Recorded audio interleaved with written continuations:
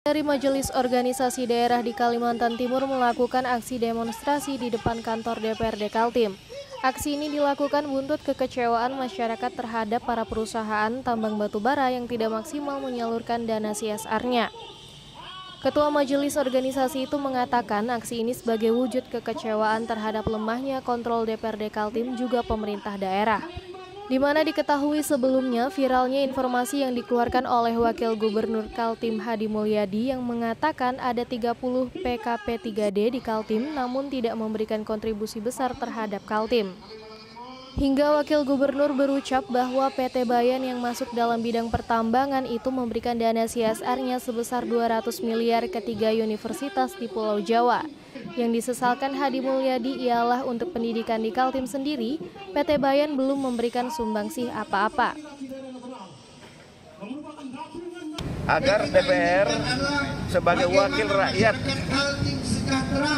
Kalimantan Timur agar menginventarisir dan mengevaluasi seluruh perusahaan-perusahaan PKPDB yang kurang lebih 30 perusahaan PKPDB yang aktif ya untuk dievaluasi dan diinventarisir supaya untuk mencegah ya penyelewengan CSR yang dilakukan seperti perusahaan PKPDB yang namanya PT Gunung Bayar Resources ya, yang terungkap di media adalah kurang lebih 200 miliar itu baru satu perusahaan ya jadi semua perusahaan PKPDB ini harus dievaluasi kembali.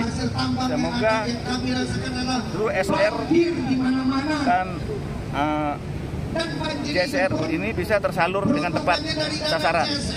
Dalam pertemuan itu, Wakil Ketua DPRD Kaltim mengungkapkan aksi protes ini dilakukan telah membuahkan hasil.